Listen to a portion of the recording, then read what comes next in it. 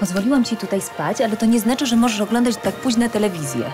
Ale ty sama czasem oglądasz do późna. Ale tylko w weekendy. Poza tym jestem dorosła i nie mam jutro dyktanda i to na pierwszej lekcji. To niesprawiedliwe. Dorośli mają dużo lepiej. Naprawdę? Co ty nie powiesz? Chciałabyś być dorosła? No jasne.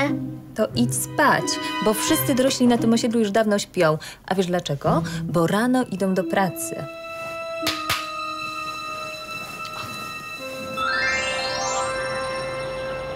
Ja, proszę Państwa, potrzebuję środki na nowe projekty. A, jest tego trochę, proszę. E, To jest e, widelec, specjalny widelec do spaghetti, proszę. Nabieramy.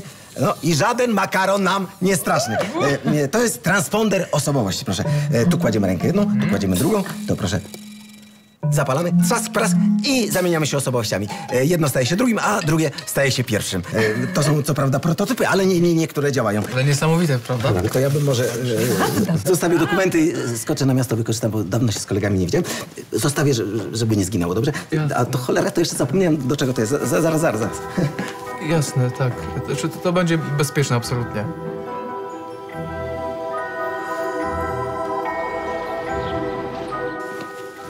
Cześć. Cześć. O, a co to takiego? Tusia, no przecież jest w pół do ósmej, zaraz masz polski. Był u nas dzisiaj taki wynalazca, zostawił kilka wynalazków do przechowania i to jest transponder osobowości. Zobacz, jedna osoba przykłada tutaj rękę, tutaj druga, e, czekaj, tu się, chyba- o, tu się naciska. I mogłabyś na przykład e, zamienić się z mamą na ciało. O ja, ale super by było. A to działa naprawdę? Oczywiście, kotku, że to nie działa. Do szkoły. A może pójdziesz za mnie? Czy boisz się dyktanda? No oczywiście, że się nie boję. Dyktanda, dobrze, jak to? Tutaj ręka moja, Ręka, tak? twoja ręka. Tu?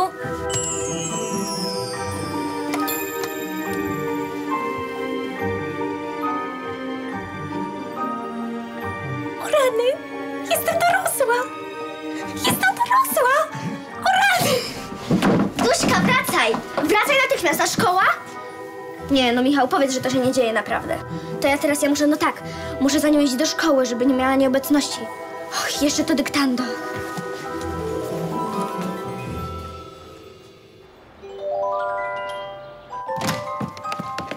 Michelle, że, że, Dusia, martwiłem się o ciebie.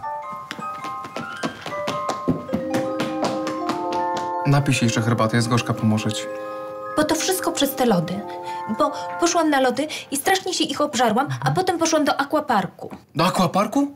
A co tobie przyszło do głowy? No bo poszłam na tę zjeżdżalnię, taką strasznie, strasznie krętą, tę dla dorosłych. No jak weszłam na górę i zjeżdżałam z tej strasznie krętej zjeżdżalni, to mi się tak zrobiło niedobrze i tak mi się zakręciło w głowie, że w ogóle już nie poszłam na ten film do kina, co się tam całują i co mi mama powiedziała, że go zobaczę dopiero jak będę miała 16 lat. Dusia, Michelle, gdzie ty byłaś tak długo?